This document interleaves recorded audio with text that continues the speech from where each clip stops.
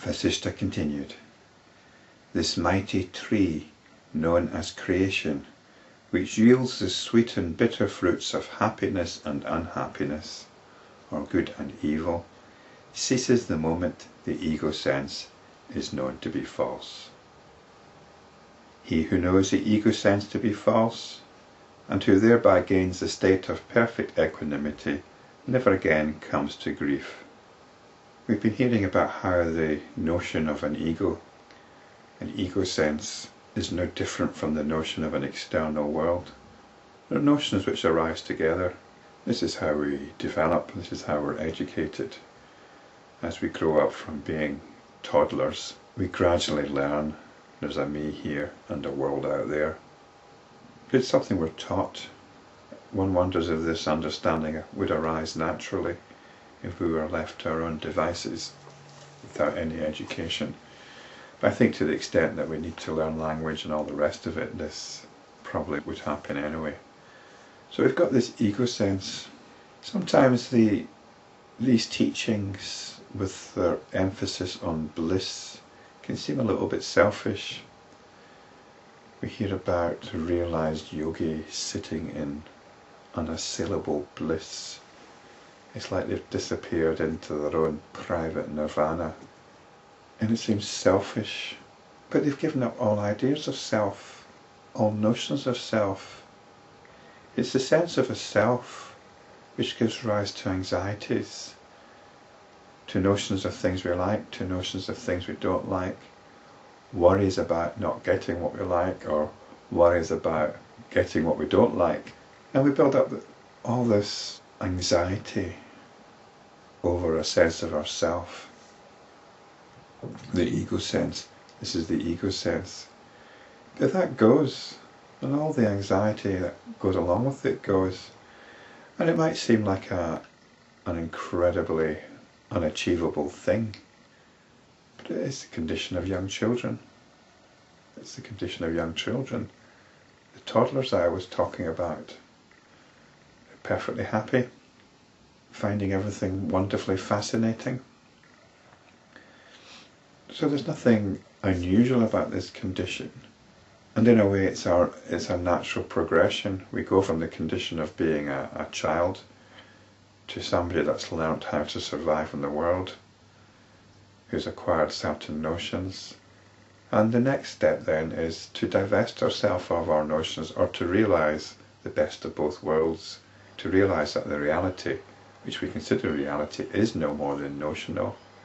And to have that bliss and freedom from care which arises when we don't have these notions. So this bliss actually arises out of selflessness, not selfishness.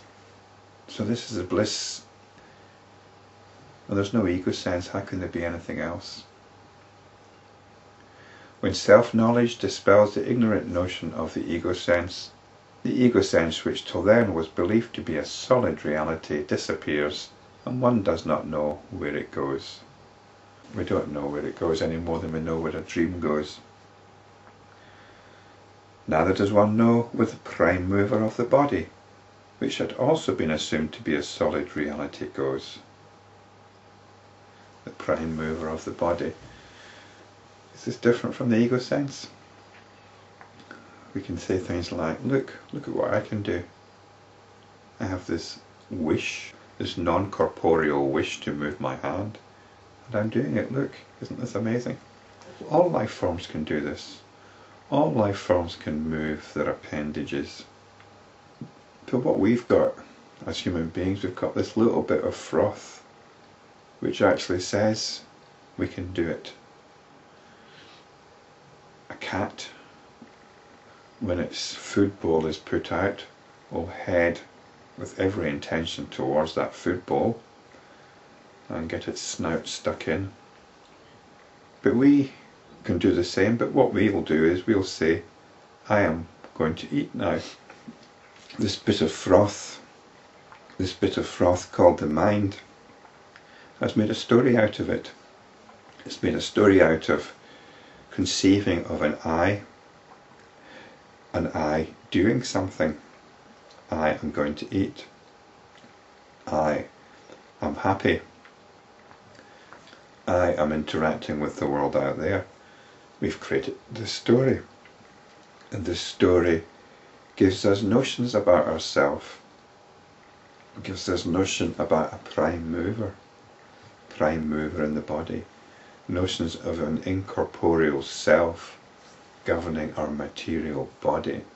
Then we create notions of free will, and it becomes important to understand whether we've got free will or not, and that it's important to have free will. And this feeling that it's important to have free will is, is the same ego sense. It's the ego sense trying to protect itself. If I said there's no such thing as free will, people would find that statement very oppressive, very confrontational, and seek to argue with it. Why? So maybe this free will is the prime mover of the body.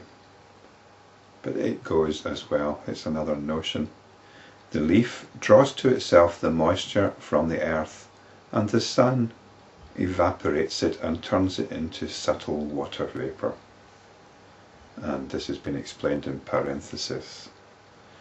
The leaf is the body. It draws to itself the moisture, the ego sense, it's a natural process. We suck in notions to fuel this ego sense. Self knowledge, which results from self inquiry, shows us there's no substance to this ego sense. And this self knowledge enables to realize it's only Brahman that's going on. In the absence of the self knowledge, however, the seed of ego sense expands into a mighty tree in the twinkling of an eye, for in the seed is hidden the entire tree with all its innumerable branches, leaves, flowers, and fruits. The men of wisdom perceive that the entire creation is hidden in the ego sense. So the creation is the notion of an external world. They arise together, these notions of an ego sense and an external world creation, they arise together. And they're both illusory, non substantial, notional. They're stories.